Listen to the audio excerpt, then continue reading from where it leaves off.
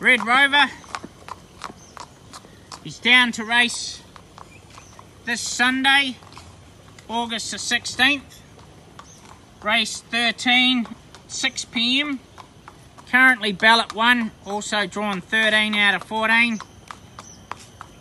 Just frustrating at the moment. He was meant to be in that class 3000 and he was going to be totally balloted out.